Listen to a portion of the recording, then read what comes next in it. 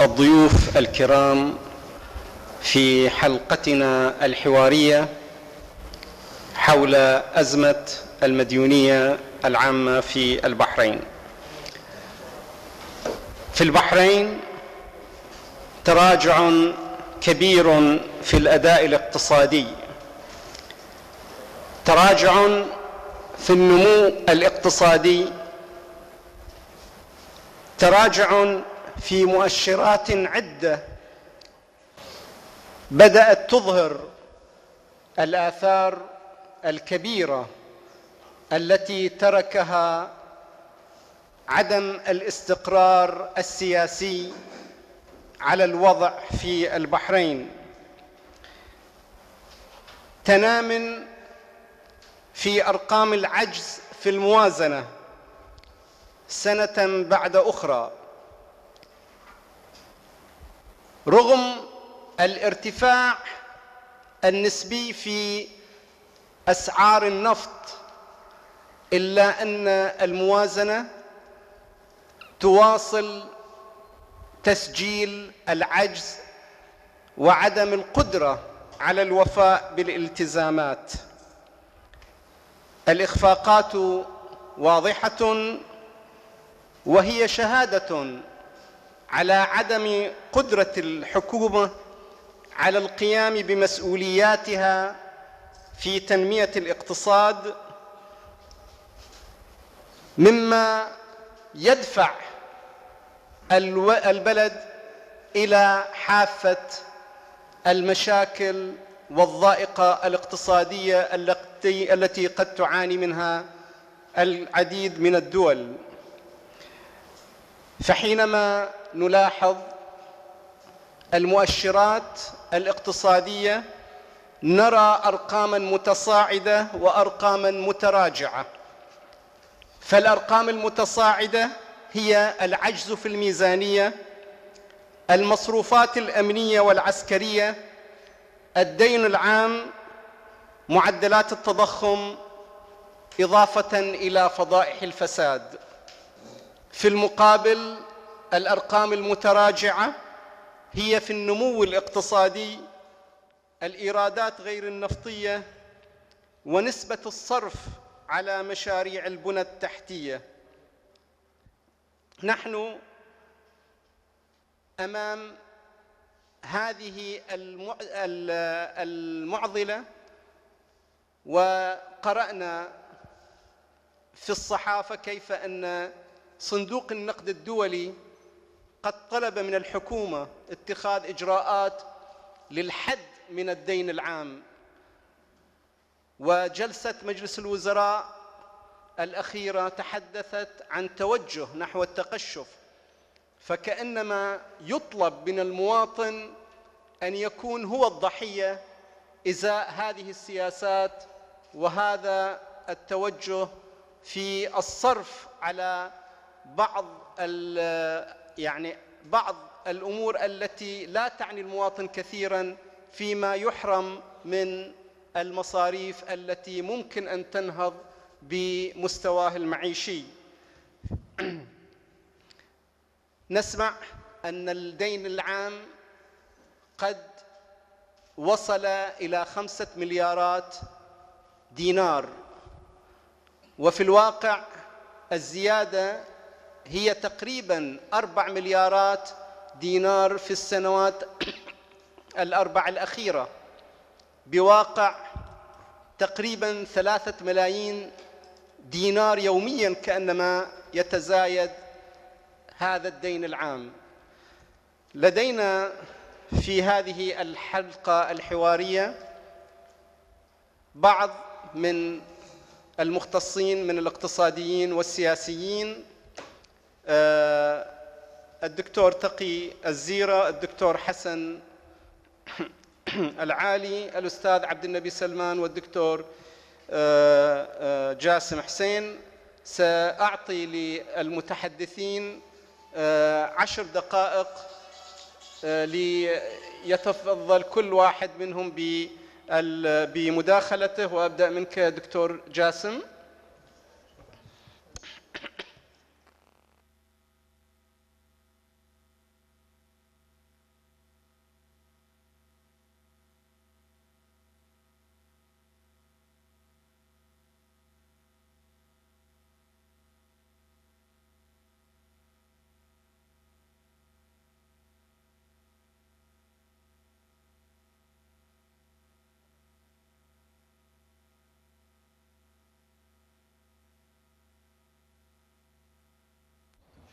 الحين أوكي بسم الله الرحمن الرحيم. أنا راح أعمل إن شاء الله استعراض لموضوع المديونية العامة في البحرين.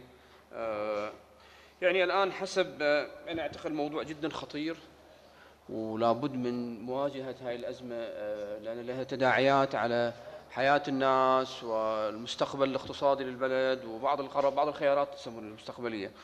حسب الأرقام الحديثة عندنا الآن إن الدين العام مع بداية 2013 وصل إلى 4 مليار فاصلة 2 4.2 مليار دينار. يعني أو 4.2 مليار دينار. أو بالدولار أكثر من 11 مليار دولار. هذا الرقم كان يساوي 40% من حجم الناتج المحلي الإجمالي للبحرين. مع بداية العام. مع سبتمبر هذا العام نهاية سبتمبر المبلغ وصل الدين العام وصل إلى 5 مليار دينار 5 مليارات. أو أكثر من 13 مليار دولار. هو كان المفروض إن هذا الرقم نوصل إليه مع نهاية العام. إحنا وصلنا إلى ثلاثة أشهر قبل نهاية العام. هذا حسب الإحصاءات الرسمية. يعني الآن وصلنا إلى 44% من حجم الناتج المحلي وطبعا هذا الشيء أبا هذا وضع خطير يعني. أشار أبو عمار إلى موضوع السقف. السقف يعني قبل كم سنة كان السقف بدأ مليار وصل مليارين ثلاثة ونص. الحين وصلنا خمسة مليار هو السقف النهائي. طبعا هذا شيء بشكل سريع. يعني كان المفروض يكون أقل من ذلك بس تحت عند المجلس النواب متعاون مع مع مع السلطة وبالتالي وافق بشكل سريع إلى إلى هذا الموضوع. خليني أعطيكم الآن هاي الأرقام الموجودة هني. بتشوفون إن إحنا كان يعني هذا الأرقام الموجودة الجدول آه، بداية 2013 4.2 من 10 40% آه، من الناتج المحلي سبتمبر وصلنا 5 مليار المتوقع في نهاية 2014 آه، نوصل تقريبا 6 مليار دينار. مين؟ و2018 سبعة ونص مليار دينار أو 20 مليار دولار. يعني هذا الآن تخوف الموجود عند صندوق النقد. آه، وطبعا رقم كبير آه، ليش هذا صار كذي؟ أرجع أجي هني. الآن إحنا في 2000 شوف ميزانية 2013 تم إقرار الميزانية النهائية بعجز قدره 833 مليون دينار. أو 2.1 هاي مليار دولار. 2014 914 مليون دينار. فذلك هذا اللي قاعد يصير. يعني هذا الفرق اللي جاي هني كله علاقة بعجز الموازنة العامة.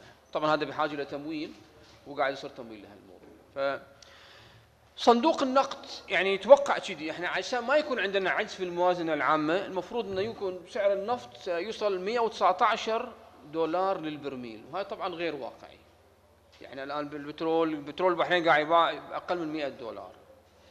حد اقصى ده بيوصل 104 119 هذا غير وارد أصلا في هالفترة بأي طريقه بطريقة أخرى الآن. فهذا بالتالي يعني العجز راح يكون اكيدا موجود. ف إذا وصلنا إذا وصلنا 20 إذا يعني إذا وصلنا هني 2018 بيكون النات يعني الدين العام يشكل 61% من حجم الناتج المحلي. هذا راح يتناقض مع موضوع الاتحاد النقد الخليجي اللي يلزم إنه ما يرتفع عن 60 بيكون عبارة بتصير مشكلة في هالمجال.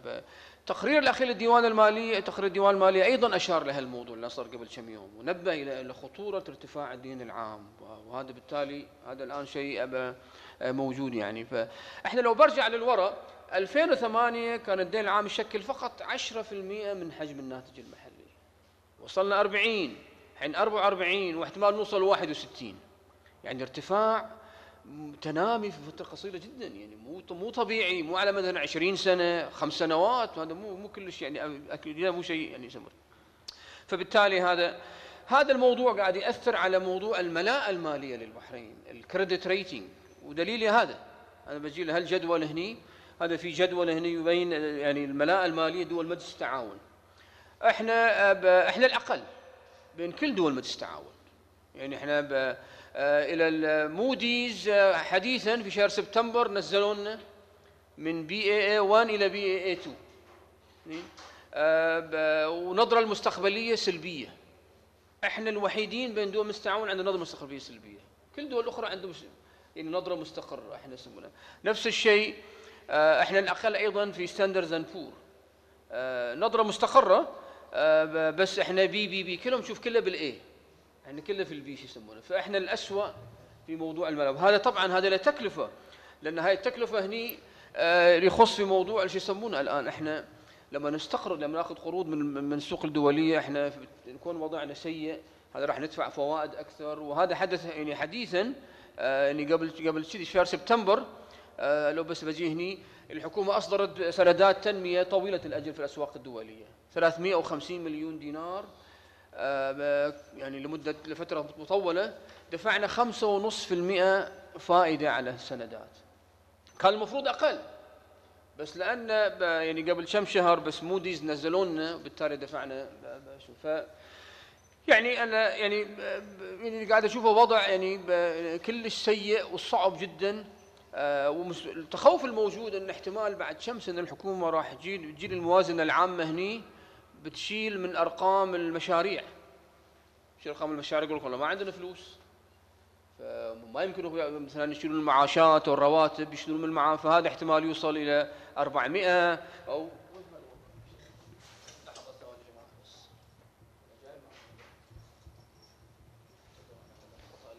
فني.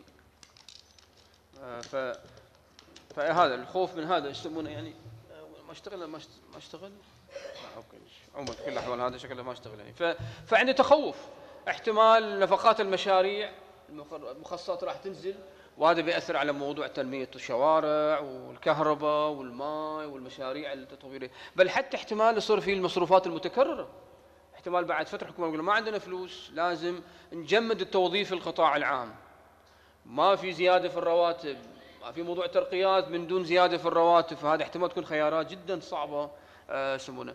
إحنا لاحظنا مثلا تجربة اليونان لو بشكل سريع اللي عندي آه، تجربة اليونان كيف اليونان دفعت ثمن غالي وقاعد تدفع ثمن غالي.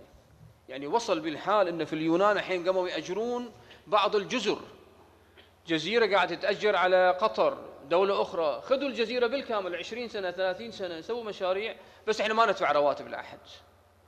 فخيارات جدا صعبة حتى لاحظنا إن الاتحاد الأوروبي ومنطقة اليورو قاعد يمرون فترة صعبة لأن في عندهم تاريخيا البرازيل مرت بتجربة صعبة المكسيك واجد دول. فإحنا قاعد نتجه لهذا الوضع. يعني الآن إحنا ل 60% بعد كم سنة.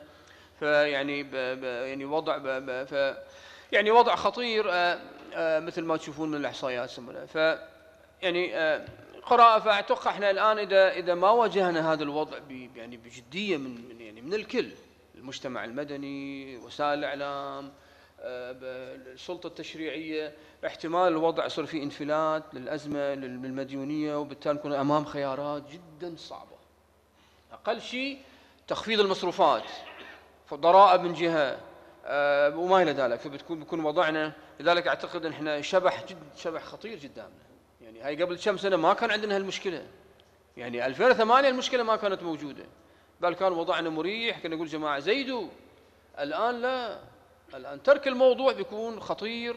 يعني علينا وعلى المستقبل وعلى الخيارات المستقبل. بالتالي فان شاء الله نحتاج إلى أعتقد إلى إلى يعني تضافر الجهود لإيقاف هذا الشبح الخطير أمامنا. وشكرا. آه شكرا على التزامك بالوقت دكتور. يمكن أعطيتنا دقيقة أيضا فإذا نحن يعني. أمام أزمة آه، ستتأثر آه، كثيرا بها مش... آه، مصاريف المشاريع التي هي أساسا الضحية من هذا الوضع الاقتصادي. الآن مع الأستاذ عبد النبي سلمان.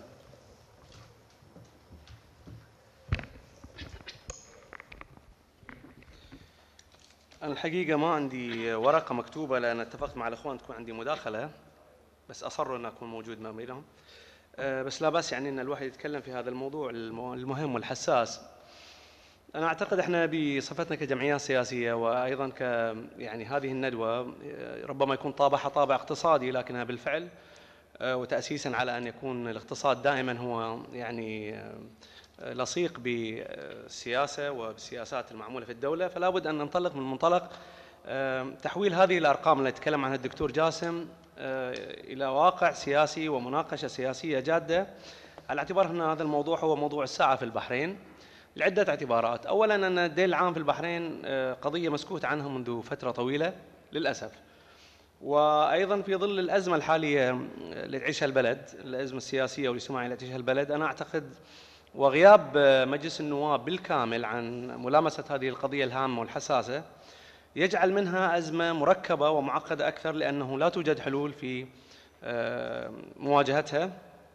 والدليل هو التعاطي اللي لاحظناه ولمسناه خلال الأشهر الماضية من قبل النواب تجاه هذه الأزمة وأيضا خلال مناقشتهم للموازنة العامة للدولة.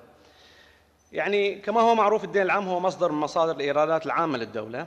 تلجأ الدول عادة آه، للاستدانة لتمويل نفقاتها العامة. عندما تكون لديها عجوزات فتلجأ للاقتراض من هيئات داخلية أو خارجية أو حتى أحيانا من أفراد ومؤسسات. والدين السيادي كما تعلمون هو الدين المترتب على الحكومة آه، ذات السيادة وأيضا عادة ما يكون على شكل سندات. الدول تحاول أن تتبع في أزمة ديون سيادية أن تلجأ إلى محاولة تدبير العملات الأجنبية من خلال طرقها الخاصة وإذا فشلت فأمامها خيارات منها أن تلجأ للمؤسسات الدولية كنادي باريس أو صندوق النقد الدولي. إحنا بس نقدم مقدمة بسيطة على أساس نفهم إن يعني واقع البحرين في المديونية العامة. طبعا في شغلة أنا لاحظتها عن قرب يعني من خلال ملامستنا لواقع المديونية العامة في برلمان 2002 2006 وكيفية تعاطي الدولة مع هذا الجانب المهم؟ يعني يعني يتحدث وزير المالية باستمرار عن ان عن أن البحرين يجب أن تستثمر باستمرار مسألة انخفاض سعر الفائدة لتستدين من الجهات الدائنة من دون سبب موضوعي أو ذاتي حتى. وهذه مشكلة كبيرة عويصة لأن المسألة ليست مبنية على سياسات مالية واضحة بالنسبة للبحرين ولا من يخطط لمالية البحرين. يعني مثلا وزارة المالية و يعني بنك البحرين المركزي يجب أن تكون جهتين مهمتين للتخطيط للسياسة المالية للدولة. لكن ما يقوله وزير المالية دائما سواء أثناء مناقشة الموازنة العامة للدولة أو حتى في الخطابات العامة التي تنقل للصحف وتصريحات. أننا نقترض لأن سعر الفائدة عالميا يشجع على الاقتراض. تستطيعون أن ترجعون إلى هذه التصريحات باستمرار. وهذا غير مبرر لأن تستدين الدولة من دون سبب موضوعي.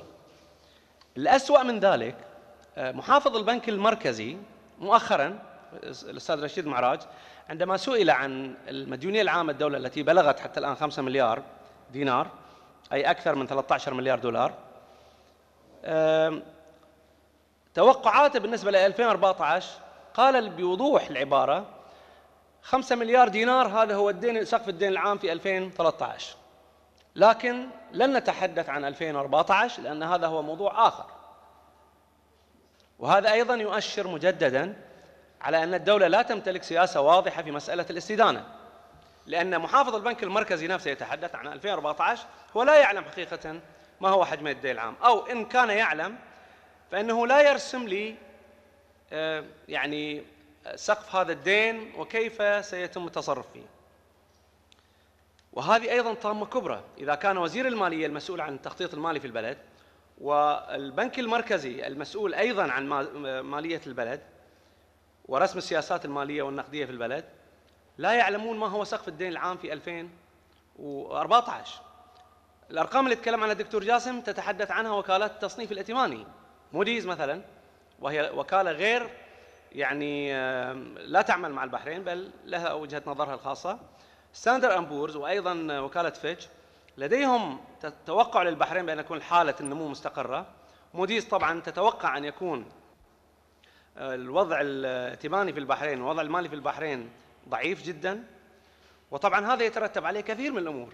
يترتب عليه هروب الاستثمارات أو تترتب عليه يعني مشكلة مشكلات مالية عويصة. وأيضا آه، زيادة في أعباء الدولة وتكاليفها. خاصة إذا علمنا أن الدولة لا زالت مصرة عبر سياساتها الدائمة منذ الميزانية الأولى اللي ناقشها بالبرلمان بعد الإصلاح حتى الآن. مصرة على أن تكون ثلث ميزانية الدولة تذهب للأمور الأمنية والعسكرية.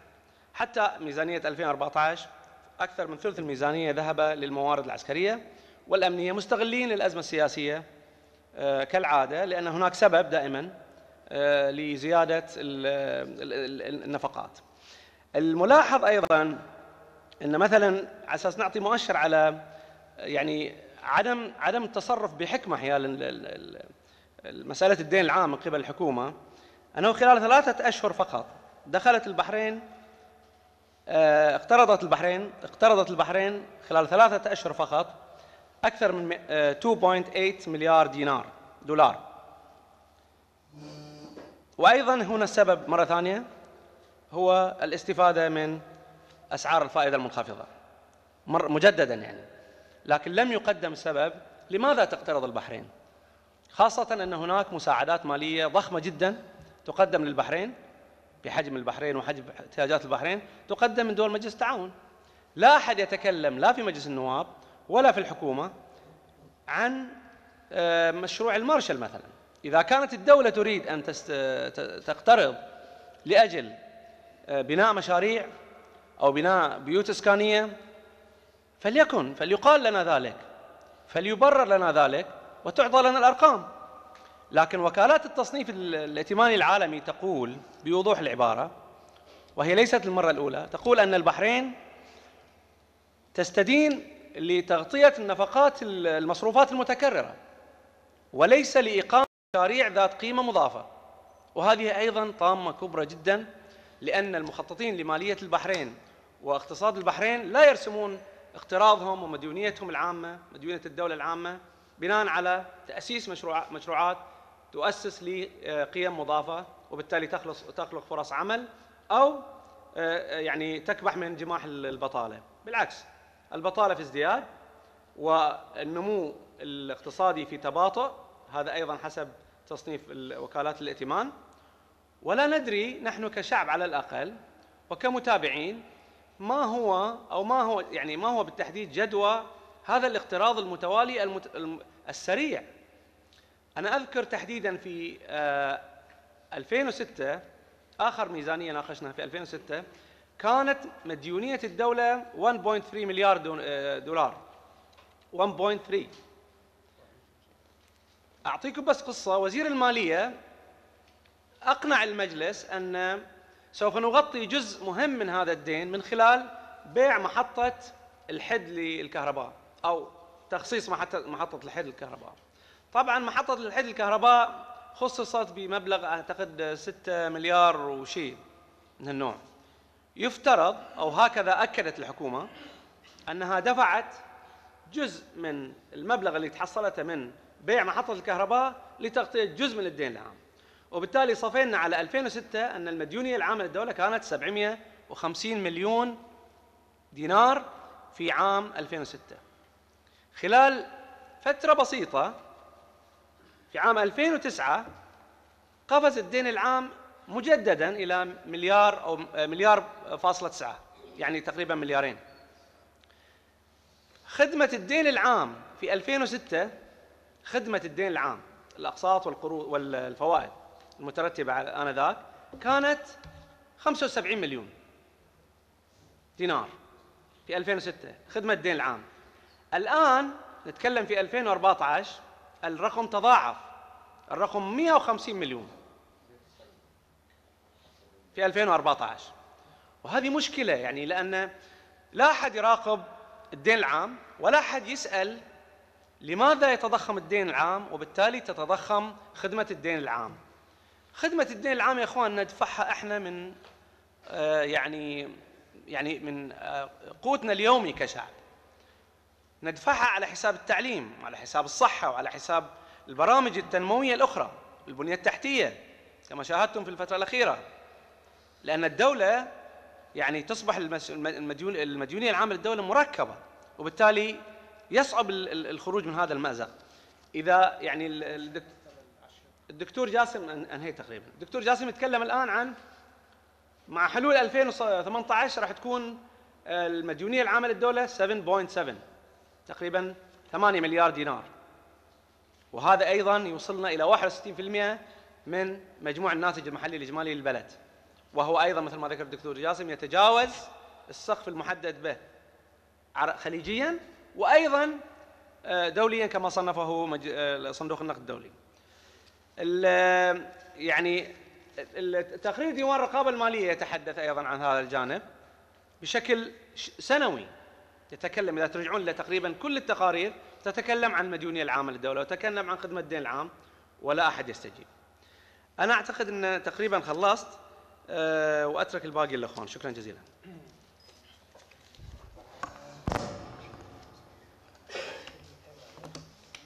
آه، شكرا أستاذ عبد النبي آه، والآن الميكروفون مع آه، الدكتور حسن شكرا جزيلا للأخوة في الوفاق على استضافة هذه الندوة. جيد أنه تحدث قبل اثنين علشان لا أكرر بعض الحقائق والأرقام. بس إضافة بسيطة أنه إحنا اليوم لو نحسب خمسة مليار آه، تقسيم 600 ألف يعني بحريني تقريبا يعني يطلع نصيب الواحد حوالي 8300 دينار. يعني كل واحد فيكم اليوم مدين للمؤسسات الدولية بما فيه الرضيع والطفل 8333 دينار. برزوا روحكم حق الأقساط يعني. آه، أنا أعزي أزمة المديونية لثلاثة أسباب رئيسية. الفساد وسوء الإدارة والحل الأمني. يعني هذا اللي مرتبطين أساسا بالوضع العام. يعني إحنا لما تكلمنا في آه، في بيان أمس تقرير ديوان المالية فساد البنية السياسية والاقتصادية أخو الفساد ما يخلي شيء ويترك شيء. يعني يطال المؤسسات الدولة وطال الدين العام وطال الأموال العامة وطال. أنا بس بشكل سريع لأن عشر دقائق خلني ألقي بعض الضوء على ماذا أقصد بسوء الإدارة والفساد والأمن واختيار الأمن نروح أول شيء للإيرادات. الإيرادات ارتفعت يعني من 2002 إلى 2012 ارتفعت آه، من 981 صارت 2791 آه، يعني مليارين و791 دينار. زين. الملاحظ اولا أن هناك في حسابات خارج الميزانية لا تدخل في الإيرادات وهذا الكل يعرفه. يعني آه، في دراسة للدكتور علي الكواري يقول يعني ميزانيات دول الخليج عموما 25% من الإيرادات لا تدخل في حسابات الإيرادات الدولة. يعني 25% تروح للعوائل الحاكمة من فوق لفوق بدون ما تدخل داخل الحسابات الرسمية للإيرادات. هذا أولا. اثنين طلعت لنا أيضا الحكومة بدعة جديدة من 2010 أنه لما تجي لبند الإيرادات تقول إيرادات مثلا 3000 رأسا تخصم منها في نفس الحساب 800 مليون دينار تكلفة الدعم للمنتجات البترولية وتشيلها من الإيرادات. مع أن هذه تكلفة الدعم للمنتجات البترولية هي دفترية. دفترية يعني ليس حقيقية. يعني الدولة ما جي تدفع لنا فروق دعم أسعار المنتجات البترولية. هي تفترض أنه كان يفترض أن سعر السوق لهذا المنتج هالقد اللتر البترول وأنا أبيع عليكم بهالقد. فالفرق بين سعر السوق وبين اللي أبيع عليكم آه، أنا أعتبره هذا آه، دعم لكم وبالتالي أنا أخصمه من الإيرادات. مع إنه الواحد لو يفكر هذه الإيرادات وين تروح؟ المفروض ترجع لبابكم فإذا معناتها هي قيد مزدوج يعني أنت تشيله من الإيرادات صوب لكن ترد تضيفه المفروض دخل لبابكو. بس لما نرجع إلى بند الإيرادات هذه 800 مليون مو موجودة. يعني آه، بالفعل تحتسب كاقتطاع حقيقي من الإيرادات. هذا جانب الإيرادات على الأقل علقنا ملاحظات. جانب المصروفات. جانب المصروفات تاريخيا يعني آه، يمكن ثلاث كتل رئيسية في في الميزانية هي اللي قاعدة تستهلك. الأجهزة الأمنية والعسكرية قاعدة تأخذ 25%. آه، الميزانيات التحويلية اللي هي تتضمن الإعانات زائد تسديد خدمة الدين 25%. والوزارات الخدمية الصحة والتعليم والإسكان والأشغال والكهرباء والماء تأخذ خمسين في المئة باختصار من 2008 سنة اللي صارت الأزمة ميزانية الداخلية والدفاع والحرس الوطني والجهاز الأمن الوطني خلال أربع سنوات زادت 450 مليون دينار. زادت يعني من عفوا لأن الأرقام صغيرة يعني. زادت من 444 مليون إلى 891 مليون. 444 في 2008 وطبعا في عز الأزمة 2011 عشان نأكد نسلط الضوء على الحل الأمني 2011 زادت 151 مليون و2012 زادت 129 مليون. يعني وهي طبعا أكثر شيء راحت لوزارة الداخلية.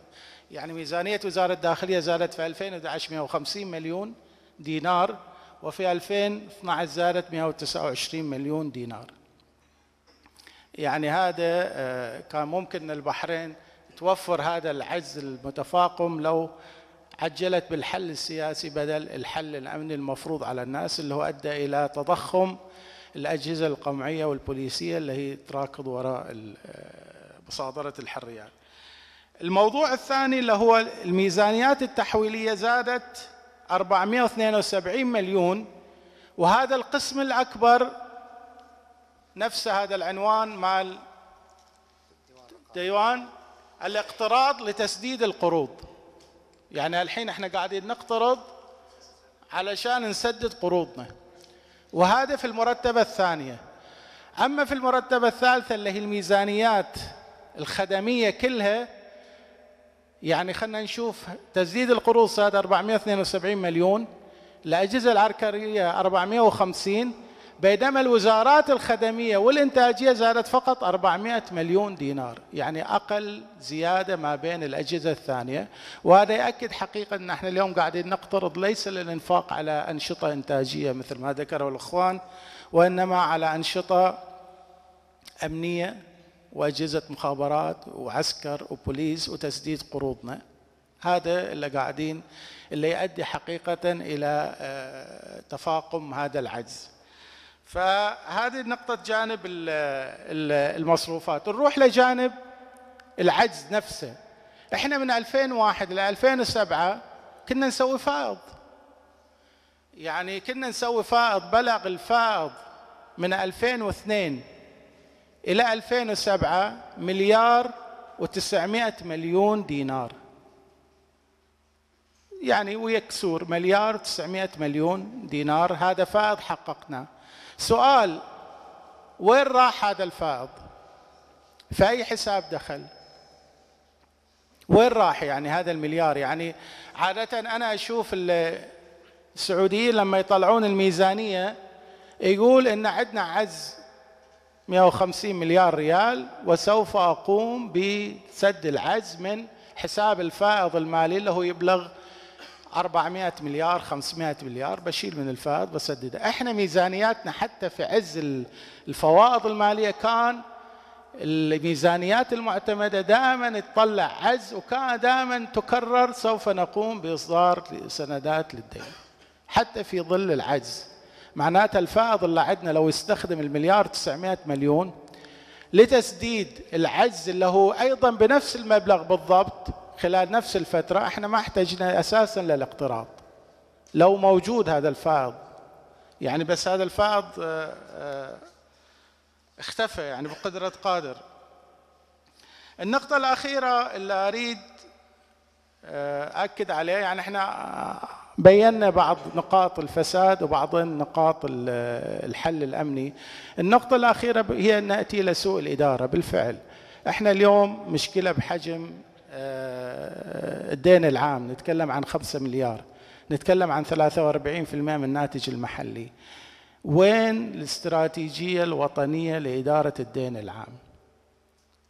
من يدير الدين العام اليوم؟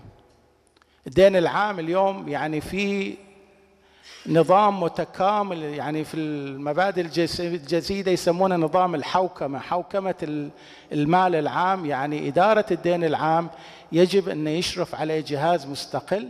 صح يشارك فيه وزارة المالية المصرف المركزي ولكن ممكن تشارك فيه جمعية المصرفيين جمعية الشفافية جمعية الاقتصاديين.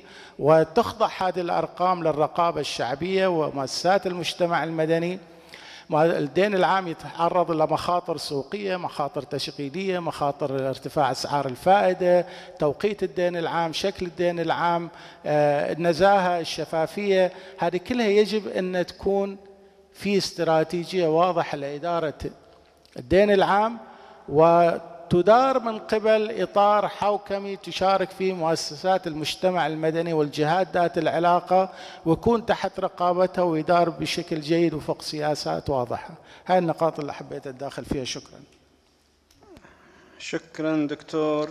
آه، لا زالت الصورة بالغة القتامة في ما يتم استغلال المال العام فيه. آه، الآن مع الدكتور تقي الزيرة في مداخلته. بسم الله الرحمن الرحيم. في الواقع أنا أحاول أتعرض إلى البعد السياسي الاقتصادي الاجتماعي لمسألة المديونية الحكومية. شو النتيجة اللي نوصل إليها لما نعرف أن مديونية حكومة البحرين بلغت نسبة عالية جدا من الناتج المحلي. معناتها يعني ما تنتجه الدولة بمؤسساتها الخاصة والعامة والأفراد والحكومة آه تقريبا نص ديون. يعني آه، الدولة مقبلة أو مشرفة على الإفلاس. والإفلاس في المجتمع الدولي الإفلاس المالي معناتها فشل في الإدارة السياسية وليس فقط فشل في الإدارة المالية. وهذه مسألة خطيرة جدا يعني. فإحنا يعني نتمنى أن حكومة البحرين تلتفت إلى هذا المنحدر الخطير الذي يعني سيعفي المعارضة من من من قيام بأي شعارات. سيتحول المسألة إلى واقع سياسي مظلم جدا يؤدي إلى أن الحكومة تنهار ولن يكون أمامها بديل إلا أنها تسلم السلطة إلى الشعب. كيف يفلس تفلس الحكومة؟ إفلاس الحكومة مثل إفلاس الفرد. الفرد لما تكون ديونة كثيرة جدا ديونة كثيرة جدا آه، يقترض أول مرة يحصل لي كفيل أو ضمان أرض أو ضمان آه، أرصدة. ثم المال الذي اقترضه لا يوفي أيضا بالاحتياجات لعائلته واحتياجاته الخاصة. يضطر للاستدانة مرة ثانية. ويروح البنك يقول له أنت ما أدرت المسألة بصورة صحيحة الآن نطلب عليك شروط إضافية. يعني سيدور المجتمع والدولة الحكومة في حلقة مفرغة. هذا بالضبط التحذير اللي وصلنا من ديوان الرقابة المالية. ديوان الرقابة المالية ديوان حكومي. حذر هذا الديوان أو أقتبس إليكم حذر ديوان الرقابة المالية والإدارية من أن استمرار العجز في الميزانية وسداد القروض المترتبة عليه عن طريق الاقتراض قد يعرض الحكومة إلى تخفيض تصنيفها الائتماني. وبالتالي فرض معدلات فوائد عالية على الاقتراض على القروض. يروح للبنك ويقول لي لا بزيدك بزيد عليك الفوائد لأن أنت مو قاعد تديرها صحيحة. وفرض شروط إضافية في عقود التمويل كتقليل فترة السداد. بدل ما أعطيك قرض مدته سنتين بعطيك قرض لازم تسدده في في سنة ست شهور. وطلب ضمانات للتسديد من قبل الجهات الممولة. يعني غاية ما نريد أن نوصل إليه هنا أن الدولة لديها التزامات تجاه المجتمع التزامات تجاه المجتمع المحلي التزامات تجاه المجتمع الدولي. مواثيق ومعاهدات دولية ملتزمة فيها وكلها تطلب مشاريع وكلها تطلب أموال. إحنا مع الأسف وهذا يعني يشهد عليه التقرير ديوان الرقابة كل سنة بأن هناك فساد فساد كبير جدا. إلى حد أنه يعني آه، لا يتمكن حتى آه، مجلسي الشورى والنواب من الإفصاح عن هذه المسألة دون الوقوع في الحرج مع الحكومة مع من عينتهم أو مع من آه، فتحت لهم السبل في دوائر انتخابية تؤدي إلى انتخابهم. وبالتالي الآن يعني العجز المالي في البحرين ابتدى مع العجز المالي اللي موجود اللي آه، حدث في أمريكا عام 2008 آه، وكلما توالى العجز على أمريكا توالى على البحرين. معناتها إن اقتصاد البحرين اقتصاد تبعي. طبيعة الاقتصادات التبعية dependent economies التي تعتمد على الاقتصادات الخارجية إن هي آه، تستورد منها الأزمات. ولكن ليس بالضرورة انه تستورد منها آه، الازدهار. فالمشكلة إن آه، عقيدة الحكومة عقيدة ليست عقيدة اقتصادية.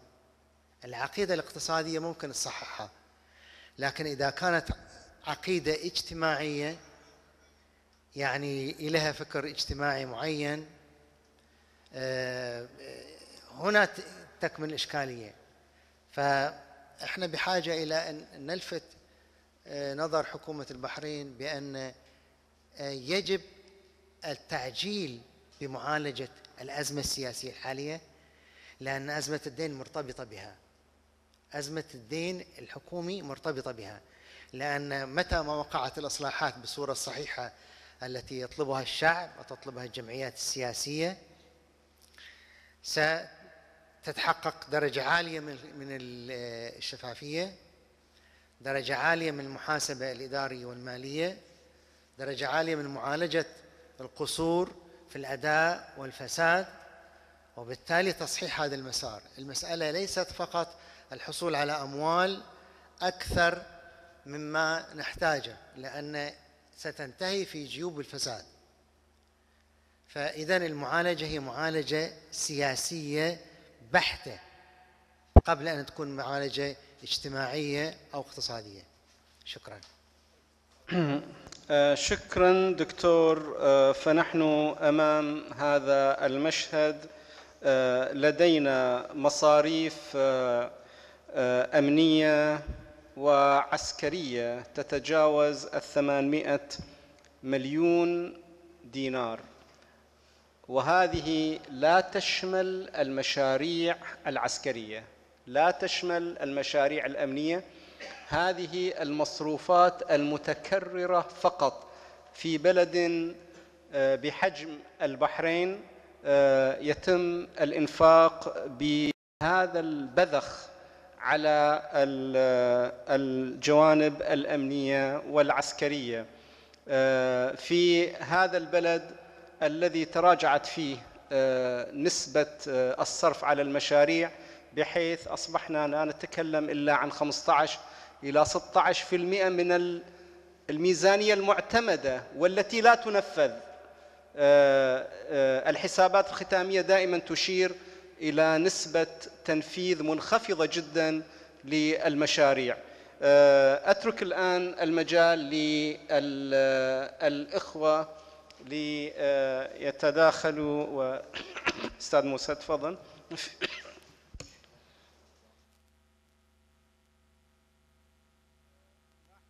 كل متداخل حد أقصى؟ دقيقتين لا أبي دقيقتين لثلاث دقائق. شكرا. أنا أتفق مع الأستاذ تقي والجميع أن ديون البحرين آه، حسب المرسوم مفتاح الاعتماد ل 5 مليار ولكن هذا يعني أكثر من دينار طبعا. فلكن لا ننسى أن هناك في القطاع التجاري حدود 4 مليار و400 مليون دينار مديونية التجار وهناك مليارين و400 أو 600 مليون دينار بحريني على الديون الاستهلاكية في البحرين. يعني هذه معلومة أن الدولة أفلست وأن القرار قرار سياسي والفساد فساد سياسي. ثاني شيء ليش إحنا نستدين؟ إحنا الحين ندفع حسب الميزانية اللي في الجريدة الرسمية 190 مليون دينار فوائد ال... فوائد خدمة الدين. 190 مليون دينار 2013 و190 مليون دينار 2014 مسامحة؟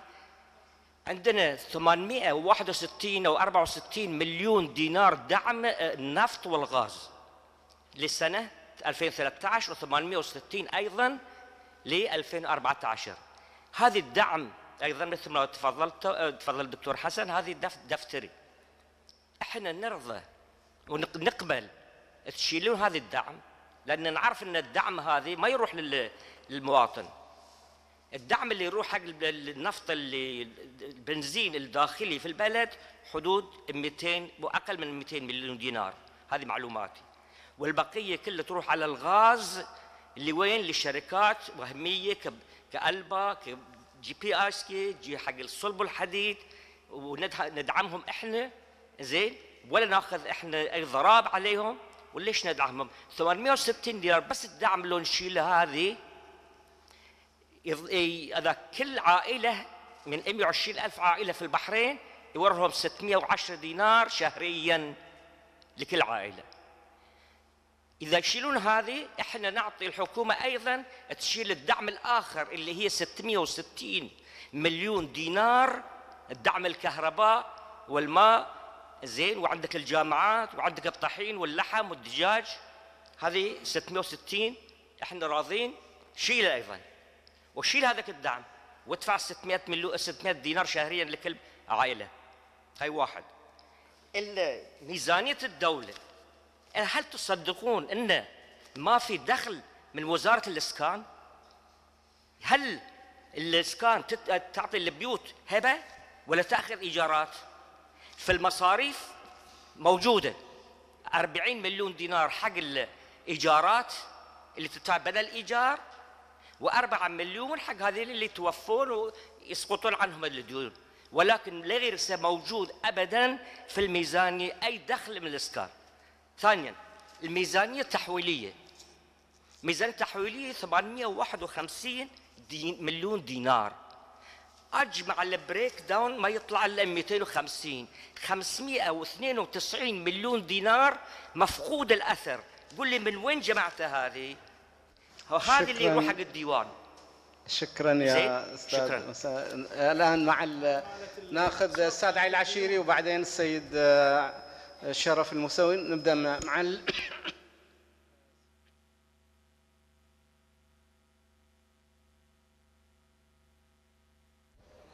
بسم الله الرحمن الرحيم. نشكر الأخوة المشاركين على هذا أنا عندي أسئلة بس. السؤال الأول ماذا يستطيع النظام أن يعمل لتخفيض هذا الدين العام؟ يعني إحنا تحدينا عن الوضع المأساوي وكذا بس ماذا يستطيع النظام أن يقدم أو يعمل يعني كمقترحات من الأخوان؟ النقطة الثانية هل بالإمكان الاستفادة من المارشال الخليجي في تخفيض الدين العام؟ بعض الميزانيات المرصودة لبعض يعني هل هي مجرد أرقام مثلا أو فعلا موجودة؟ لما يتكلمون عن رصيد الأجيال. هل قد مليون أو هل قد هل فعلا موجودة هذه المبالغ؟ لو بس هي أرقام موجود يعني هل فعلا في مبالغ بهذا. لا قصدي مثلا على سبيل المثال الأجيال هذا احتياطي الأجيال. صندوق هل هو موجود فعلا ولا بس أرقام يتكلمون عنها وما شابه أيضا هناك بعض المصاريف اللي صارت في الآونة الأخيرة رغم أن هي مصاريف قليلة لكن مع تراكم المصاريف وتجمعها في أكثر من مكان هذا شيء طبيعي يأثر يعني. التجنيس والصرف على المجنسين هذا واضح يعني. ما حد. زين. المتطوعين الآن اللي وهي المتطوعين لم يكن هناك حاجة يعني. أنا أعطيك مثال يعني. إحنا في. في الدير سماهيج مدارس الدير سماهيج كان الغياب الطلاب غايبين يعني. إذا الطلاب غايب شلون تجيب متطوع مدرس؟ يتصلون بالمديرة بنجيب لكم متطوعين. تقول لهم ما عندنا طلاب ما في. شلون تجيبوا متطوعين؟ قالوا بنجيب لكم متطوعين. زين هذه مصاريفهم معاشات أماكن اللي يقعدون فيها استهلاك. يعني كلها مصاريف في كل مدرسة 20 متطوع. اضرب. وزارة الصحة فيها متطوعين. الآن بابكو فيها موظفين من الدفاع يجيبونهم موظفينهم في بابكو. يعني معاشاتهم من الدفاع بس موظف في بابكو. أو بالعكس يمكن يستلم راتبين الله العالم يعني ما أدري. ففي مصاريف أيضا هذه إضافية قاعدة تصير حتى لو قليلة لكن مع التراكم هذا لم أعتقد في النقطة الأخيرة أن قد يكون هذا التوجه للاقتراض بدون سبب كما أشاروا حطه من الحكومة أو من النظام انه على أساس الناس ترأف بها يعني دول الخليج تقول والله هذه حكومة مفلسة وكذا خلينا نعطيهم ونمدهم بالمارشال وكل سنة نعطيهم فلوس تصير يعني حتى على المستوى الفردي في أفراد في يعلن افلاسه ليش يعلن افلاسه؟ حسن يحتفظ بال أو عنده تأمين يقوم يحرق بنايته على أساس يعوض. فأنا ما أستبعد النظام أيضا يروح في هذه السياسة لأنه مو يعني أنا أعتقد النظام مو مو قاعد يتأثر بهذا اللي قاعد يتأثر المواطن العادي. في الأشياء البسيطة. جنبزه يا عجل وش بعد؟ الأشياء البسيطة. أنت الحين موعد في السلمانية ستة شهور. تصور قبل سنتين. إذا تبغي موعد في السلمانيه ستة شهور يقول لك لا انتظر لما أحسنت يا أستاذ وغيرها علي جزاكم الله خيرا. آه آه بس هذا الحين التلفون ما أدري الميكروفون. آه راح يكون للسيد شرف بس الآن بسرعة راح أخذ إجابة. طبعا كشيء سيد شرف الموسوي. يعني احتياطي الأجيال هو موجود وهناك اعتمادات 21 مليون بس هم يعطون الأجيال 21 مليون وقاعدين يعني 150 مليون لازم يدفعونها آه، إلى خدمة الدين راح أخذ تعليق من الأستاذ عبد النبي سلمان شنو تتصور أستاذ علي يقول شلون راح يخففوا من الدين العام؟ هل عندهم طريقة؟ الاجابه قلناها في البدايه طبعا ما في اجابه الدولة تخفض دينها العام لكن بالنسبة لوضع البحرين أنا أعتقد نتكلم عن 5 مليار يعني علينا فعلا يعني بالنسبة بالنسبة لأي دولة أخرى يبقى الدين العام في البحرين يعني في حدود 5 مليار معقول يعني لكن مو بالنسبة للناتج المحلي طبعا.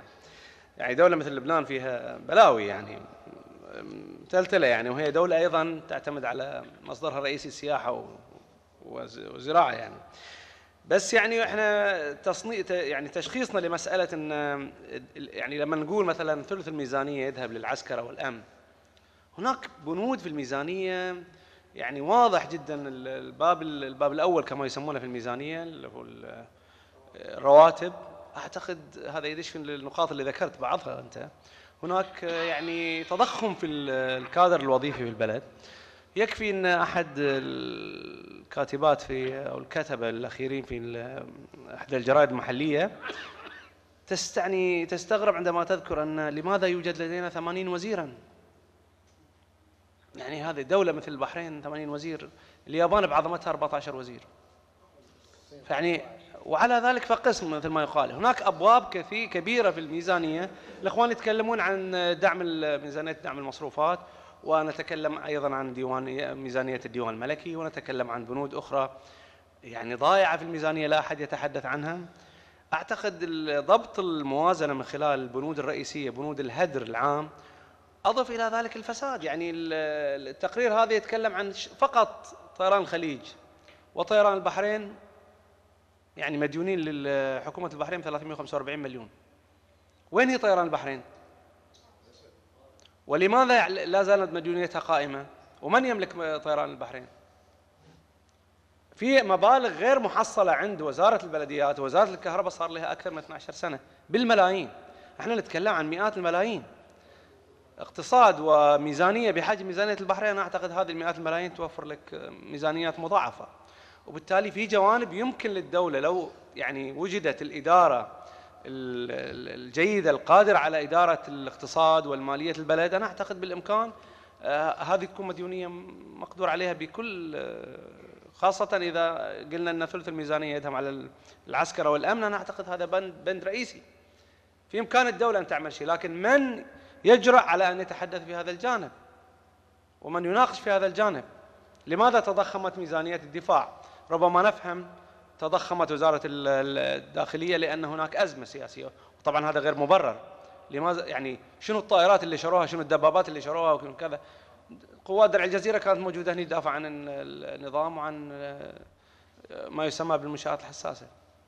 ما شفنا قوات الدفاع يعني ولا شفنا طائراتها ولا. وبالتالي هذا باب يعني أنا أعتقد يمكن أن يوفر على الميزانية مئات الملايين ويمكن أن نستعيد منها كثير شكرا يعني. يا أستاذ. نبي وناخذ السيد شرف. آه، الميكروفون إذا يروح للسيد. آه، شكرا. أنا بأخذ الموضوع من آه، من زاوية الشفافيه واتفاقية الأمم المتحدة لمكافحة الفساد. يعني الأرقام اللي تفضلتم فيها آه، غنية. تنص اتفاقية ال... تنص اتفاقية الأمم المتحدة على لمكافحة الفساد في المادة 13 باء على ضمان تيسر حصول الناس على المعلومات. ماذا يعني؟ يعني إن كل المعلومات والبيانات بتفاصيلها يجب أن تكون معلنة أمام الجمهور أمام الناس. المهتمين يشتغلون فيها الأكاديميين يجرون بحوثهم وإلى آخره. على سبيل المثال تجربة بسيطة مثل البرازيل عندهم هذه القانون. كل موظف من درجة مدير فما فوق له صفحة على آه، الموقع الإلكتروني للحكومة البرازيلية وكذلك الضباط. يبين كم إيراداته السنوية وكم مصاريفه بالملي. تتوقف هذه الصفحة عن التحديث عندما يترك الوظيفة في الحكومة. هذه موجودة وأي واحد يقدر يدش على الحكومة البرازيلية من أي مكان في العالم يحط اسم الموظف هذا يوصل له هذا ياخذنا إلى موضوع اللي هو الفساد. يعني أنا بعطي بعض الأمثلة اللي يعني أكيد قريتوها في التقرير الأخير بس حتى لا نطلع بعيد. تكلفة بناء المستشفى مستشفى الملك حمد طبعا ارتفعت من 30 مليون إلى تقريبا 75 مليون دينار. ارتفاع تكلفة بناء جسر شمال المنامة من 22 مليون إلى 98 مليون. ارتفاع تكلفة بناء تقاطع ميناء سلمان من 10 مليون إلى 24 مليون. ارتفاع تكلفة مشروع بوابة مدينة عيسى من 17 مليون إلى 48 مليون. هذه الفروقات من أين تأتي؟ هي اللي تؤدي إلى زيادة الدين العام. لذلك يعني, يعني إذا في من توصيات في هذه الحلقة الحوارية هي توصية الإصرار على البحث عن طريقة ما أن تخرج الحكومة قانون الحق الحصول للمعلومات اللي تقدمنا فيه إحنا الشفافية مع بعض النواب في 2009 واللي إلى الآن لم يطرق في مجلس النواب على الإطلاق. هذا طبعا الأمور هذه كلها تؤثر على آه، مؤشر مدركات الفساد بالنسبة للبحرين اللي تتراجع من سنة إلى أخرى وأنا ببشركم بعد بدون بدون ما أذكر لكم الأرقام لأن راح تعلن يوم 3 ديسمبر البحرين أيضا السنة هذه تراجعت. فهذا يعني مسلسل التراجع طبعا واحد منه اللي هو المسائل اللي تكلمنا عنه وشكرا.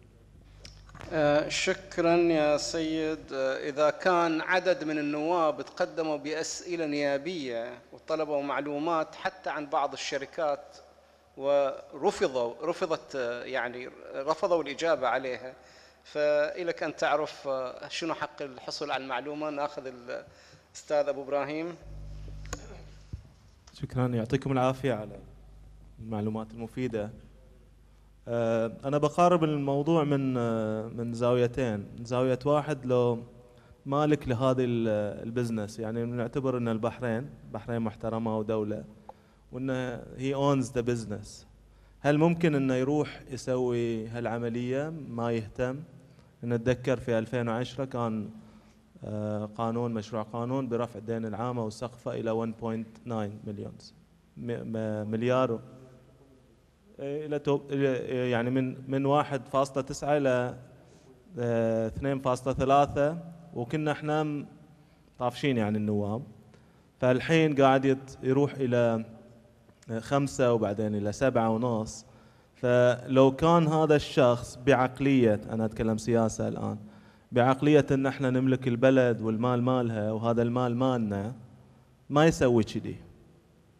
لو كان هذا الإنسان يريد أن ينتقم من من مالكي هذا المال وبيروح بيسوي هاي ال disaster هاي الكارثة المالية على في شركة أنا الحين أتكلم عن شركة. وإنه بيطردونه ما بيطردونه كيفهم؟ يسوي هاي الشغلة.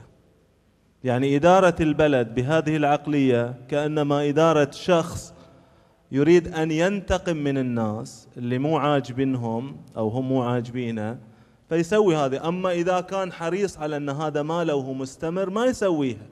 مو بعد يقول أن أنا عندي مسؤولية وبحافظ على الأموال مال الشركاء أو ما شابه. فالعملية لا تخلو من يعني وضع سياسي سيء وكأنما أنما إذا إحنا مو قابلين بالحكومة المعينة ومو قابلين بإدارة هؤلاء الأشخاص علينا أن نذهب في تدمير هذا البلد وبعدين لا أحد بيحاسبنا ولا شيء. ما في ما في إجابة غير إلى هذه الإجابة أن أنتم غير تبون ديمقراطية وبعدين بتتحملون مسؤولية أمام الناس وبتواجهون المستقبل الاقتصادي لهذا البلد فهذا خلنا إحنا ندمر هذا الاقتصاد ونسوي في أسوأ حالة سواء كان في الهيكلية سواء كان في التوظيفات أو في البعد الاقتصادي ونخليهم عقب ما يحصلون الحكومة المنتخبة أو حتى الحكومة اللي فيها شراكة. وإيش بيسوون دلين في الدين العام؟ أول شغلة بيجي سؤال إنه إذا تبى تخففها الآن إعادة المصروفات المتكررة يعني الرواتب وش بتسوي؟ تفنش الأوادم عشان تعالج هالموضوع.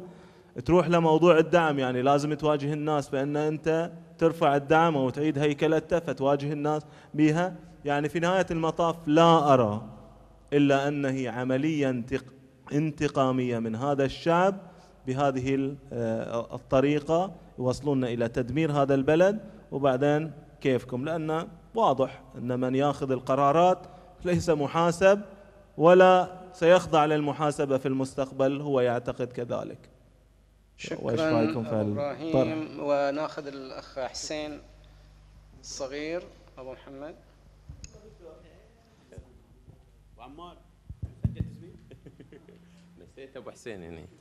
هو يقصد أبو حسين. آه،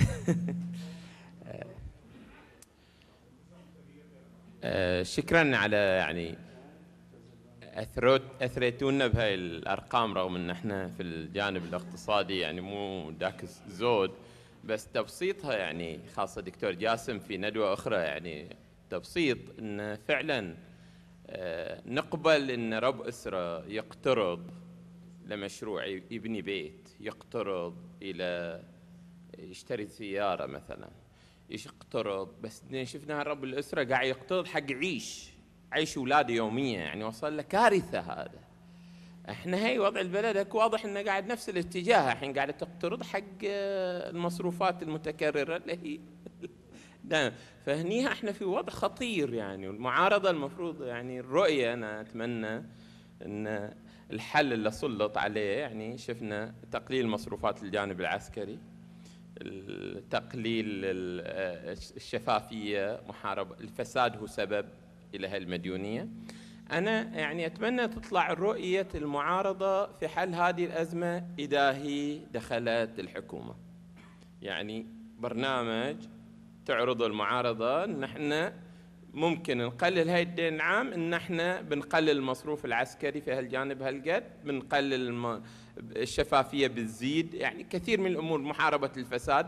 وهي شيء غريب يعني ما شفنا في هالبلد ولا حالة فساد مو عند وزير وكيل مدير ما شفنا يعني آه، عرضت منها وقضايا كثيرة. شكرا جزيلا.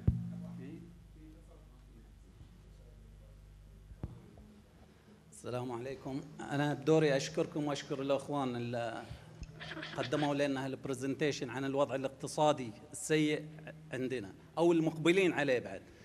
آه، اللي شفتها أنا من ضمن الإيرادات 2.7 هي تحدثون عنها كانت إيرادات نفطية. في هناك إيرادات مسجلتها الدولة في الموازنة آه، إيرادات غير نفطية بحدود 386 مليون تقريبا. آه،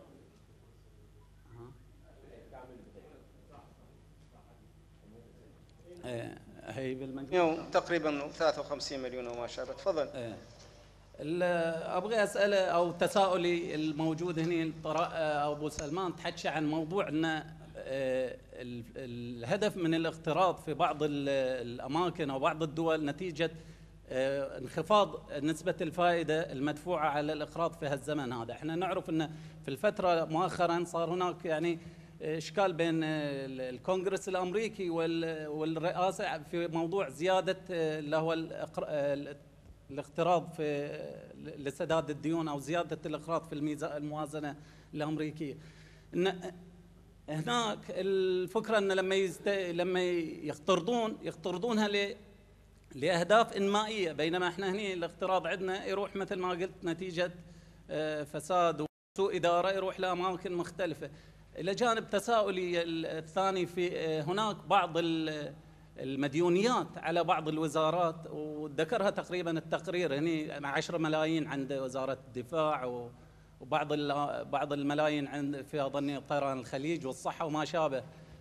سؤالي إن مثل هذه المديونية مثل هذه ما تدخل في الموازنة في في المستقبل؟ يعني ما تنفع الموازنة أو تنفع الميزانية في انها تقلل نسبة العجز؟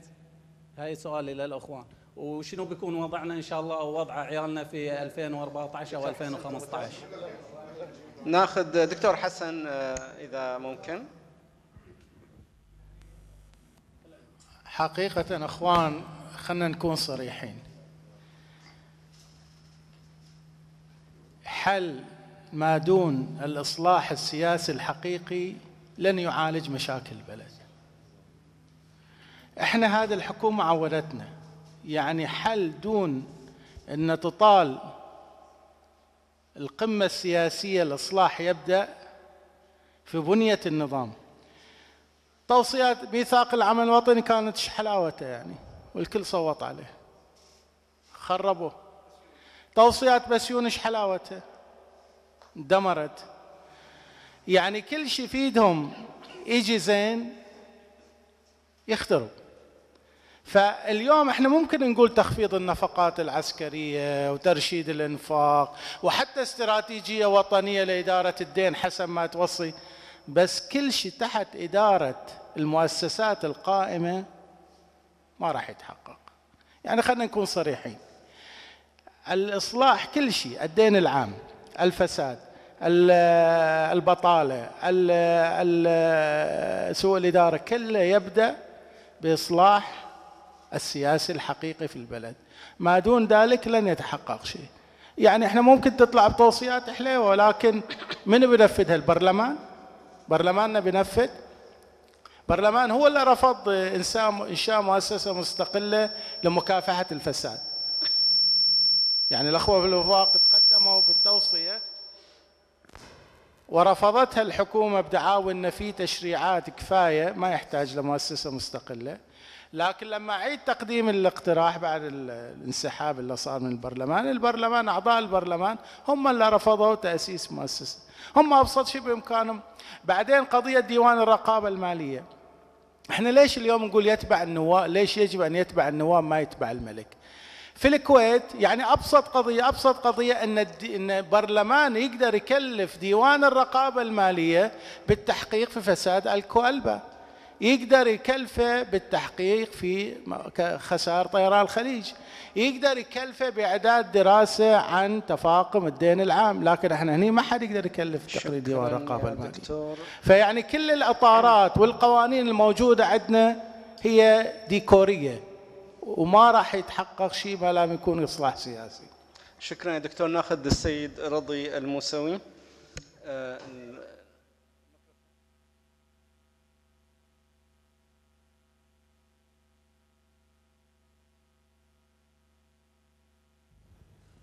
شكرا للأخوة في الوفاق والأخوة المحاضرين. آه، يعني في ضوء اللي تفضلتوا فيه يعني طبعا الواحد يوصل إلى بعض الاستفسارات يعني هل هو دين آه، مرسوم؟ يعني لا هل هو بالفعل دين حقيقي؟ إن آه، نستطيع من خلاله نقول إنه هذا الدين راح إلى هذه المصروفات. يعني هو في جوانب آه، على الأرض. أوكي إحنا اليوم كل يوم نبيع فيه نفط 190 ألف برميل نخسر 3.6 من عشرة مليون دولار. نتيجة للفرق الفرق اللي في ال break even point اللي تفضل فيه آه، الدكتور آه، جاسم. إحنا عندنا 190 ألف وعندنا آه، شو اسمه سعر البرميل مليون 100 دولار. وبالتالي تطلع بحسبة بسيطة يوميا 3.6 من عشرة بهذا اضربها في السنة وعلينا الحسبة بعدين. هذه واحد. اثنين وهذا معناته إنه عجز في اللي تفضلوا فيه الإخوان في ال الأرقام اللي موجودة في في الميزانية هي أيضا تحتاج إلى تدقيق. والمشكلة إن ديوان الرقابة المالية لا يستطيع أن يدقق بالطريقة اللي هي يفترض أن يتفضل فيه الدكتور حسن صحيح. مسألة النقد الخليجي إنه يوصل إلى 60 ولا إن شاء الله يوصل إلى 100% النقد الخليجي ما بيه دكتور جاسم. هذه صار لنا الحين من سنة 81 لما تأسس مجلس التعاون الخليجي قالوا الأمن الخليجيين مو عادل. مش في سنة 83 هم وقعوا الاتفاقيه الاقتصادية؟ مو قالوا بيسوون دينار الخليجي الموحد؟ أي الحين إحنا كم 30 سنة؟ ولا حد حكي. لما يستحقاقها كل واحد هرب. لأن خلاف على الم... وين مقر المركز البنك المركزي ولا وين نحط صورة من أول. هذه هي القصة. وهذه يعني أنظمة أعتقد إن هي ال... أي. نعم. نعم. الجانب الآخر هل بالفعل إحنا واصلين إلى إفلاس حقيقي؟ يعني مارشال الخليجي اللي, اللي نعرف إنه بعض دول الخليج ترفض تسلم نقد كاش. خايفه إنه من يوصل من توصل كاش بتطير. وبالتالي إنه يقدمون فواتير لمشاريع قائمة. وإذا تلاحظون يمكن مشاريع الإسكان يعني بغض النظر إنه في وين في أي منطقة ولكن خلال السنتين الماضيتين مشاريع الإسكان زادت. فبعض الدول الخليجية لم تسلم حصتها من مارشال وبعضها لا تسلم آه شو اسمه آه نقد لأن خايفة على الكش إنه آه يطير سيد مشاريع الاسكان بين قوسين مو المارشال يعني اللي تنفذ لحد الان خارج المارشال غير موجود في الميزانية أصلا مو موجود في. المارشال غير موجود يعني شو اسمه الفوائض في الموازنة من 2001 إلى 2008 اللي تفضل فيه الدكتور حسن بس بالفعل هذا سؤال أنت في حدود مليارين دينار يعني في حدود 40% 45% من هذه 40% من حجم الدين اليوم وبالتالي السؤال وين راح؟ الله يذكره بالخير إبراهيم شريف سأل هذا السؤال ودخل السجن. عقبها لأنه معروف إنه وين وين يروح. فأنت يعني جهز روحك. شكرا. آه شكرا. آه راح ناخذ آه آخر متداخل آخر متداخل آه أستاذ آه عبد الجليل أبو حسين. لأن ما شفت إيد ارتفعت غير. وبعدين راح أعطي دقيقتين. نعطيك راح يكون آخر متداخلين السيد أحمد. ونعطي لكل متحدث دقيقتين فقط وننهي لا أنا عندي نقطتين يعني تفضل حسين. أه صحيح سؤال منطقي. أه ما هو المخرج؟ أين هو الحل؟ أه أنا لن أتحدث باسم المعارضة أو باسم الشعب البحريني حينما يطالب بحل. خلونا نرجع إلى تقرير تقرير ال IMF وموديز اللي صدر في الأسبوع الأول من نوفمبر 2013 شوف هو اوصى بتوصيتين يعني مهمتين. التوصية الأولى أن الاقتصاد البحرين أكثر من 85% يعتمد على النفط وأن ال break even point 118 دولار في البرميل بما يعني أي تذبذب في أسعار النفط يتذبذب الاقتصاد معه وبيكون اقتصاد غير مستقر. التوصية الرئيسية في عند ال IMF وتبعتها موديز في في التقارير المنفصلة مالهم هي وضعت اليد على الجرح. موديز و IMF قالوا أن لابد من وجود حل سياسي عادل وشامل يوفر الاستقرار للبلد. لا مجال لا مخرج. أنا أنا أنا أثني على كلامكم. لا مخرج أمام البحرين إلا من عملية سياسية شاملة عادلة للخروج من الأزمة. النقطة الثانية من يفكر من اطراف الدولة أنه يستطيع بالمال أن يعتبر أن المخرج الأساسي من الأزمة في البحرين عبر خيار الأمن هو فاشل وهذا أكبر دليل. اليوم اليوم الدولة تتحرك بدون سقف، اخترقت السقوف الحين. هذه الأرقام المسجلة فقط. يعني هناك ميزانيات سرية لا تعرض. كم تصرف؟ إحنا نعرف أن الشرطي الواحد يمكن يكلفهم ألف دينار.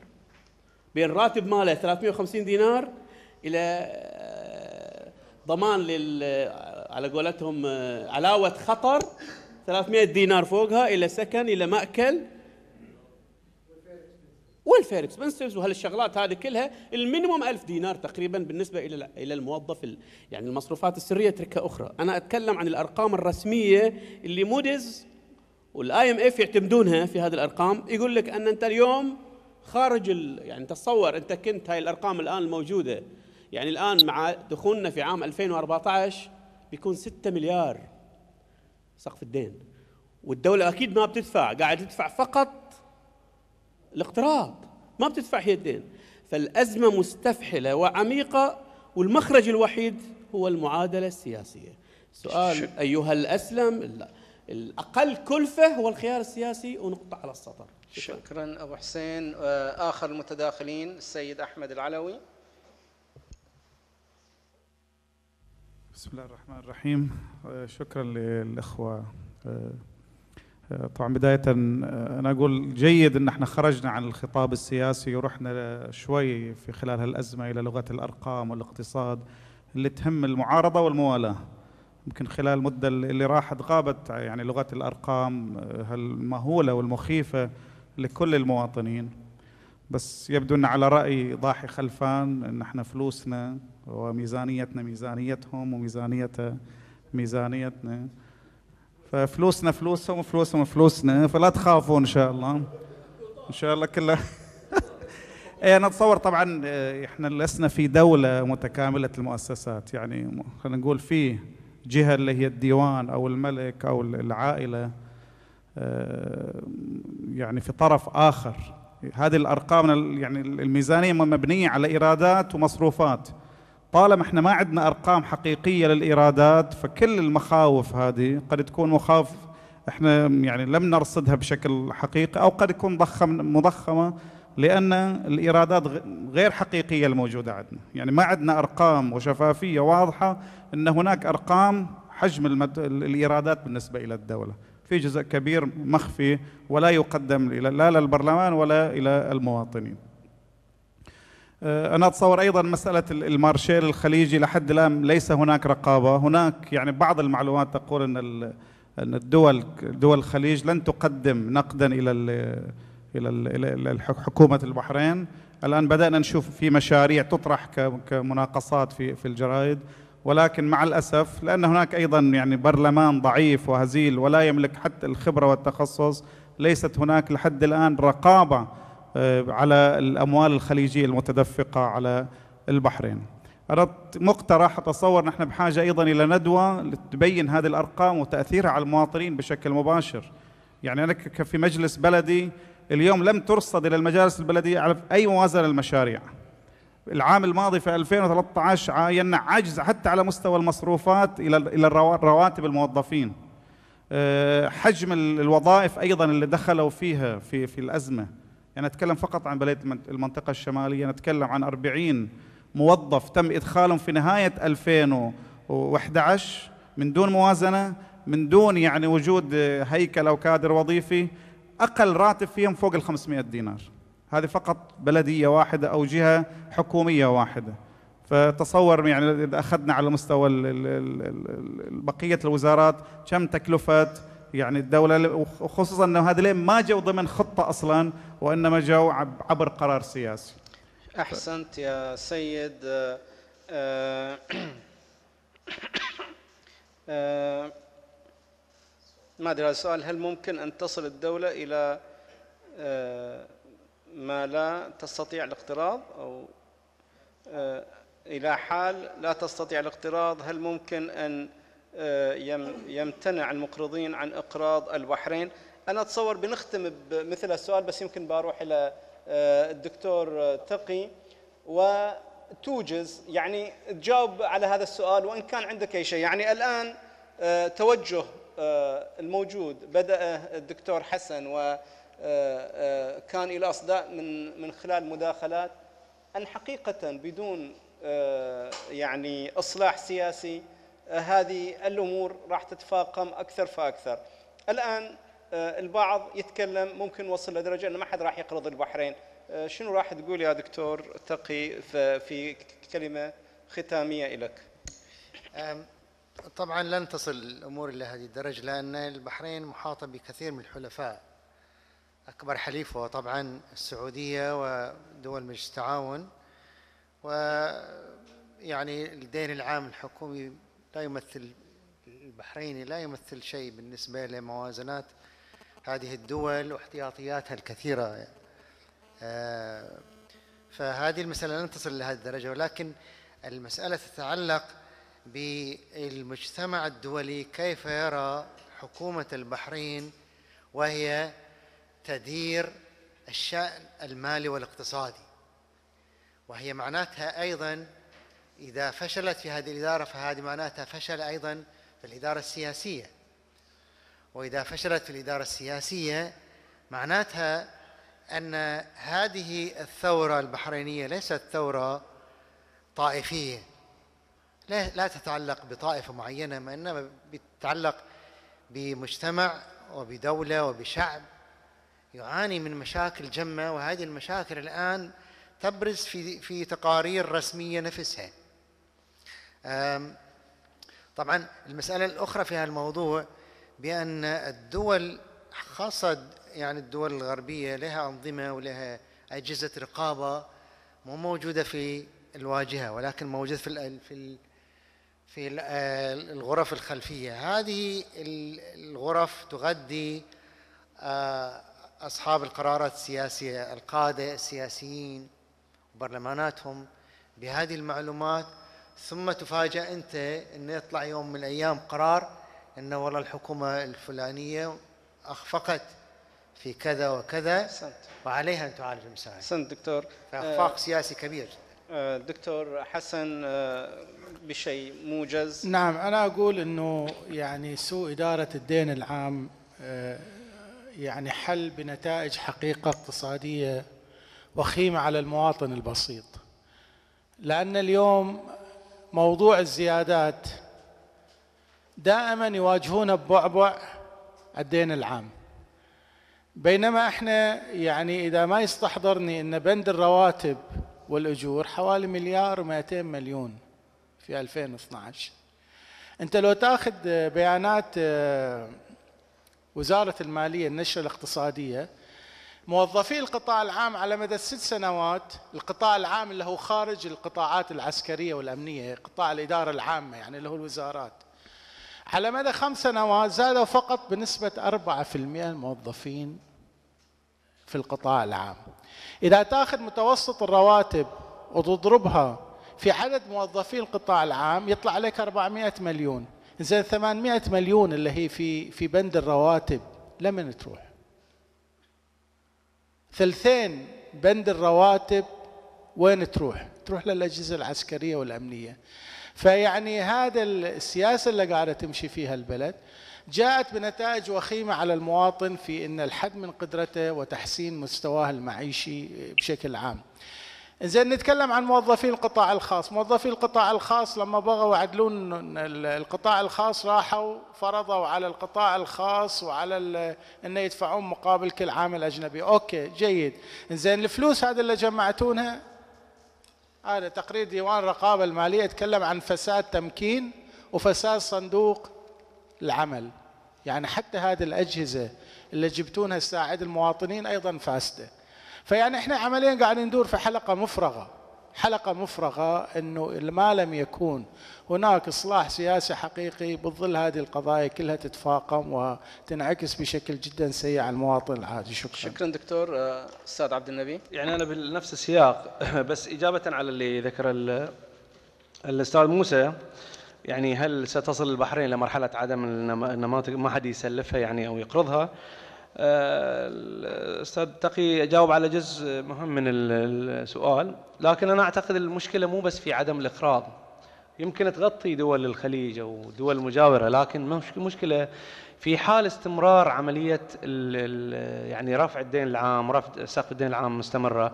هناك أيضا جانب علينا أن لا ننسى وهو آه، تكلفة وشروط آه، الاستدانة ترتفع بالتدريج. إذا كنا اليوم نتكلم عن مثلا آه، سعر فائدة ب 3% في ظل ارتفاع سقف الدين العام المضطرد سوف أيضا آه، ينقص في الجانب الآخر هو يعني ال- التصنيف الائتماني للبحرين وبالتالي المخاطر تشتد وبالتالي يرتفع سعر الإقراض آه، سعر التكلفة. آه، يعني أنا أطرح سؤال في نهاية الندوة آه، يعني كثيرا مع حكومة البحرين تكلمت عن تنويع الاقتصاد وإحنا نعرف كأبناء البحرين إن آخر مصنع أنشئ في هذا البلد هو كان في السبعينات وهو مصنع علبه حقيقة. وهذا هو المصنع الوحيد اللي يمكن نتحدث عنه. ومنذ السبعينات لحد الآن أي مع بدء الدولة الحديثة في البحرين إذا بسمونها حديثة. آه، السؤال هو يعني ماذا ستعمل حكومة البحرين مع التقارير ال- الرصينة التي صدرت هذه الأيام من أن أسعار النفط تتجه للهبوط مع حلول آه، ابريل القادم. هذه مشكلة كبيرة جدا أيضا تنتظرنا في الطريق. ما هي استعدادات الحكومة البحرين؟ أنا أعتقد في ظل هذه العشوائية في إدارة شؤون الدولة وفي ظل مثل ما ذكر الإخوان آه، لا توجد آه، لا يوجد حل وأفق سياسي في البلد.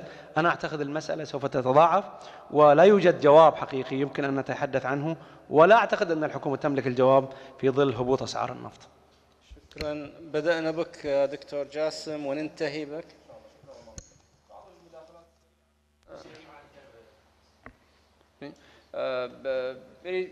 هو حاليا الخ- الخوف من يسمونه؟ الخوف من يعني تنامي المديونية. إحنا يمكن الوضع حاليا مو سيء جدا. قاعد تحكي عن 44% من الناتج المحلي بس النمو من من 10 إلى 40 إلى 44 إلى 60 هذا هو الخوف يعني. بعدين تنامي النمو اللي قاعد يصير. بعدين لوين قاعد يروح؟ يعني قبل كم سنة في الثمانينات قطر وصل عندهم ال- المديونية إلى أكثر من 100% من الناتج المحلي. كان في كلام معقول كذي؟ بس جاء الجواب هو ماخذين هذه الأموال لتمويل قطاع قطاع الغاز قطاع الغاز اللي عنده قطاع الغاز. وطبعا حاليا الكل يعرف قطاع الغاز اليوم قطر أكبر مصدر اللي يسمونه اللي يسمونه الغاز اللي يسمونه الطبيعي المسال هذا. فشيء فموضوع وين قاعد يروح الاموال؟ وين قاعد تروح؟ إحنا حاليا يعني بعد قبل فترة اكتشفنا إن جزء من الاقتراض قاعد يذهب لتمويل آه، خسائر طيران الخليج. طيران الخليج حسب آخر الاحصائيات خسارهم 200 مليون دينار سنويا. هذا هذا والخطا هني. إذا كان موضوع إنشاء مصانع، شيء وظائف، تنويع فهذا المشكلة هني. بعدين آه، كان في إشارة لموضوع تقليص الدعم. هذا حاليا مو مطروح عندنا حاليا. إحنا الان وضعنا سيء جدا مع الدعم الموجود لل- للمشتقات النفطية إذا شلنا ديلين 800 مليون طبعا بيصير الوضع اسوء والمشكل حاليا اقتراح صندوق النقد في هذا الحل صندوق النقد يقولون والله قلصوا الدعم الموجود. هذا هذا هو الحل. بس إحنا بالنسبة لنا هذا مو الحل. الحل في الفساد المالي الحل في الفساد السياسي مو مو شو يسمونه. ف الجانب الآخر صار في إشارة لموضوع الحساب الختامي بالفعل عندنا مشكلة بالحساب الختامي الحساب الختامي يعطونا أرقام في المجموع.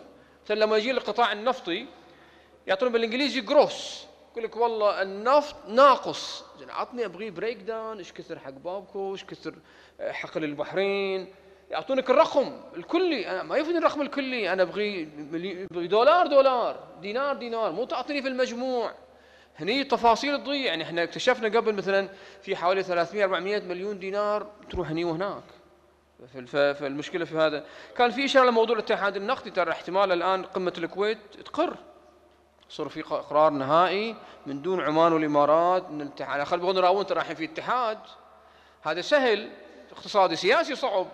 والله في اتحاد لا ماشيين في الموضوع خصوصا مع التطورات اللي في المنطقة. فاحتمال وارد جدا إن قمة الكويت تعلن عن خلاص هذا المشروع اللي ما بيجوا ما بيجوا الإمارات كيفهم يعني. ف إشارة كان في موضوع موديز موديز يعتقدون إن المشكلة في الحل مشكلة سياسية في البحرين. إن إحنا نحتاج إلى حل سياسي عشان نعالج. صندوق النقد ما يشوفون كذي. يشوفون المشكلة في النفقات. قلصوا الدعم. فلذلك في في تباين بين يسمونه. لكن في المجموع أنا أتوقع بعد فترة الحكومة راح تروح لمجلس النواب وتطلب زيادة في السقف المسموح للدين العام. حاليا 5 مليار هم خلاص بيوصلون 5 مليار. هم كانوا في سبتمبر فأتوقع بيروحون لستة. والمجلس أكيد بيوافق. وشكرا. آه، شكرا آه، دكتور. آه، واقعا آه، آه، يجب أن نشكر المتحدثين الذين أثروا آه، هذه ال- الحلقة الحوارية بمشاركاتهم القيمة. ونشكر الحضور الكريم من شارك بالمداخلات ومن أو بالأسئلة أو بالحضور فالجميع ساهم في إنجاح هذه الحلقة. آه، هناك إعلان من آه، جمعية الشفافية عن ندوة آه، أيضا مهمة جدا عن الفساد في قضية ألبا الكوى الندوة راح تكون يوم الاثنين ليلة الثلاثاء في نادي العروبة الساعة سبعة ونصف فأتصور بأن مثل هذه الندوة تستحق أيضا آه، آه، دعم الجميع لأن هذه إحدى القضايا الكبرى في هذا البلد. آه، في نادي العروبة الساعة السابعة والنصف يوم الاثنين هذه يعني عقب بكرة. في الختام نشكركم جميعا على الحضور وآخر دعوانا الحمد لله رب العالمين.